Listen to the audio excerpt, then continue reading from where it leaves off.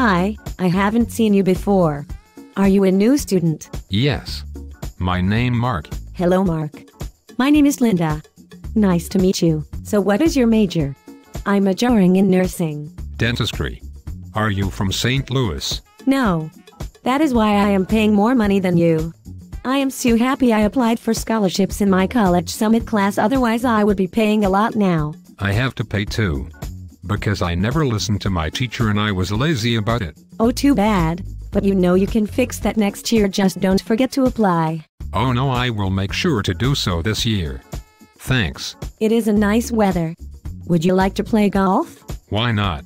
Maybe we get to know more about each other.